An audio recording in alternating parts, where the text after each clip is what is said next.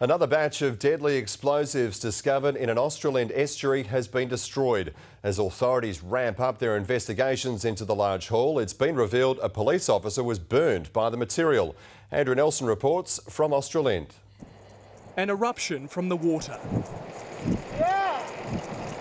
A second package of explosives destroyed. The deadly powder obliterated in the middle of Leschenault estuary. The massive but delicate operation involved bomb technicians, disposal robots, and army divers. More of the TATP powder, also known as Mother of Satan, was found hidden near the jetty yesterday.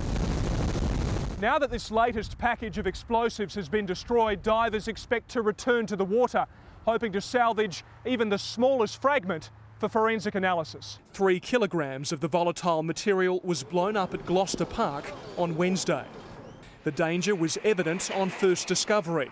A Bunbury police officer who first collected the powder on Tuesday suffered minor chemical burns to his fingers after it exploded in his hand. Well, the package was transported as an illicit drug because the presumptive test indicated to the officer that it might be. So the officer has followed the protocols that we have put in place. The police union wants a review on how officers handle and transport dangerous materials as the Premier reassures the public they have nothing to fear.